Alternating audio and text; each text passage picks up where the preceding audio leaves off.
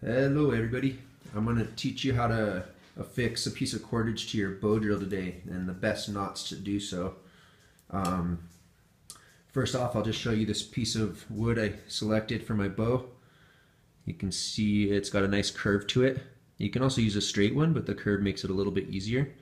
And this length of this piece of wood is about from the palm of my hand to my armpit and I'm going to teach you how to tie a couple of hitches today. One is the clove hitch and the half hitch.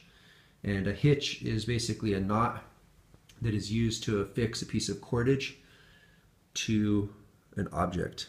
And today we're going to be affixing this piece of parachute cord to our bow drill. Some knot terminology that's useful is the running end. That's this uh, short end right now with the end of the rope visible that's going to be our running end. And then that long strip running all the way down to the floor there, that's going to be called the standing end. And the other kind of things that I'm going to uh, use to help describe building a hitch is the overhand loop and the underhand loop.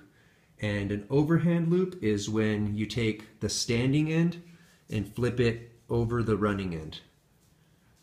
And that is an overhand loop. This is the running end over the standing end. And the underhand loop is when you take the standing end and flip it over the running end. And that is called an underhand loop.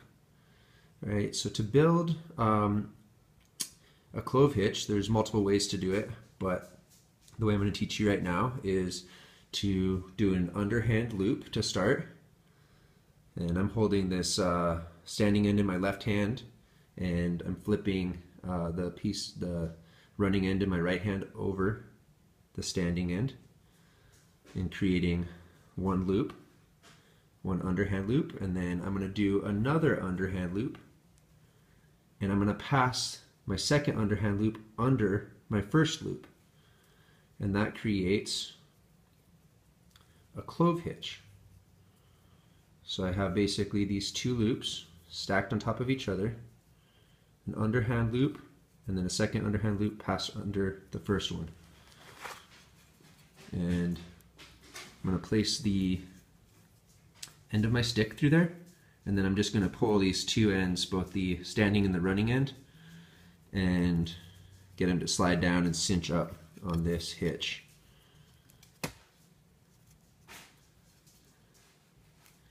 And so you see what happens is that both the running end and the standing end get trapped inside of that hitch. And it's the more you pull on it, the tighter it actually gets on the stick.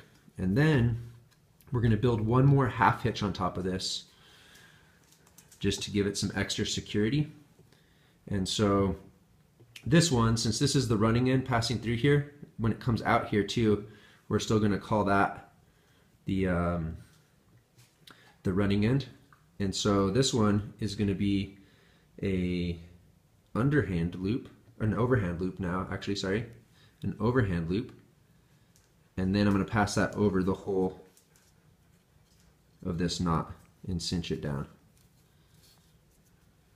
And that's just going to make this really affixed and strong. And then when we pull taut on this, you can see it just gets tighter and tighter off the end. So now we're getting to the other end of our bow. And just for clarity's sake, I'm going to switch running end and standing end now because we have a new tip to work with. And so what we're going to do to start here is going to build an underhand loop now. And you'll see how that standing end gets trapped under this first half hitch. And I'm just going to pass it right over and then grab it.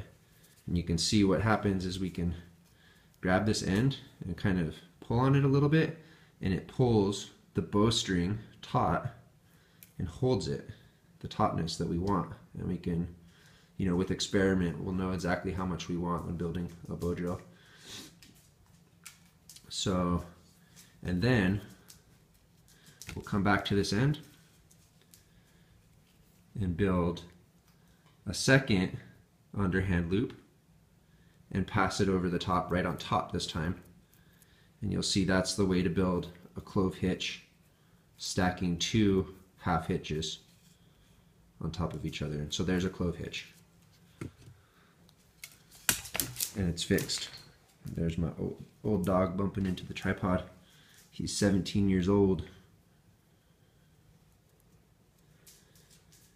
And then this is a third underhand loop, making a half hitch. And I'm gonna pass that over the whole knot and to fix that down. And then when you make your your fire, you can just hold this end and you have a very strong attachment system here. And you don't need to carve any notches to hold it because these hitches are super strong. So my dog's taking down the media. So good luck with this and post up if you have any questions. I'll try to help you out. Or if I need a more clarifying video, let me know.